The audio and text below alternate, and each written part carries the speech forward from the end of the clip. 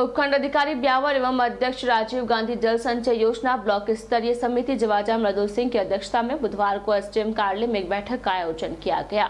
बैठक में भलिया क्षेत्र के सात ग्राम पंचायतों आसन, बड़ाखेड़ा, बामनहेड़ा, बंजारी बराखंड सातुखेड़ा तथा टाटगढ़ में ग्यारह करोड़ के जल संरक्षण के लिए एक कार्यों का अनुमोदन किया गया। एसडीएम सिंह के अनुसार राजीव गांधी जल संचय योजना द्वितीय चरण द्वारा टाटगढ़ तहसील की ग्राम पंचायतों में जल के संरक्षण संबंधी कार्य योजना बनाई गई है, जिसमें कृषि विभाग, उद्यान विभाग, सिंचाई विभाग पीएसटी विभाग, जल ग्रहण विकास एवं भू संरक्षण विभाग, पंचायती राज एवं ग्रामीण विकास विभाग भूजल विभाग, आपसी समन्वय से एक कार्य लगभग ग्यारह दशमलव छियासी करोड़ के कराए जाएँगे।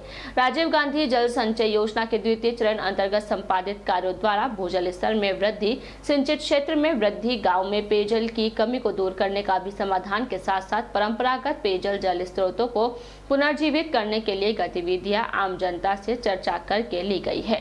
योजना के ब्लॉक प्रभारी अभियंता शलभ टंडन ने बताया कि राजीव गांधी जल संचय योजना के तीसरे चरण में सात ग्राम पंचायतें एवं 21 गाँव का चयन करके पाँच हेक्टेयर क्षेत्रफल को साइंटिफिक तरीके से उपचारित किया जाएगा। इस योजना की तैयारी में तकनीक का उपयोग करते हुए आरजे जेएसवाई ऐप के माध्यम से प्रत्येक कार्य को जियो टैग किया गया है। साथ ही प्रत्येक ग्राम पंचायत की वाटर बजटिंग की गई है। इस योजना अंतर्गत प्रत्येक लाइन विभाग की भूमिका महत्वपूर्ण रहेगी। आज अनुमोदित विस्तृत परियोजना प्रतिवेदन में विभिन्न विभाग की योजना मत से कुल छह कार्य दस लाख पचपन हज़ार के कराए जाएँगे।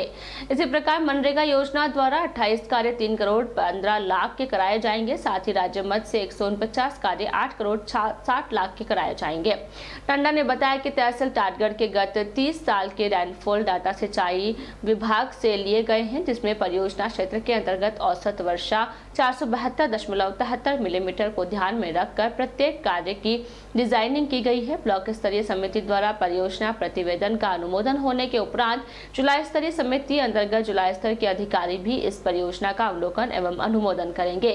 उसके उपरांत जिला कलेक्टर अंशदीप द्वारा राज्य स्तर पर तकनीकी समिति से अनुमोदन हेतु प्रस्ताव भेजे जाएँगे। राज्य स्तर की तकनीकी समिति के द्वारा अनुमोदन के उपरांत कार्य का प्रारंभ परियोजना में लिए गए समस्त अनुमोदित कार्य कराए जाएँगे।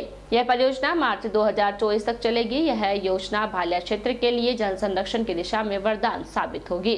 क्षेत्र के सभी जनप्रतिनिधि एवं आमजन की भूमिका भी सराहनीय रही। बैठक में माहिब सिंह विकास अधिकारी पंचायत समिति जवाजा, नंदनी सहायक अभियंता, सिंचाई विभाग, पृथ्वीराज कनिष्ठ अभियंता, सिंचाई विभाग शिला टंडन सहायक अभियंता, जल ग्रहण विकास एवं भू संरक्षण विभाग मोहनलाल प्रजापत कृषि अधिकारी, जोगेंद्र शेखावत रेंजर एवं बहादुर सिंह वनपाल, वन विभाग के अधिकारी, कुलदीप सिंह, स्वच्छ भारत मिशन जवाजा, शिवदेव गहलोत, सहायक अभियंता, पीएच दत्ता कल्याणमल सोनल आदि मौजूद रहे।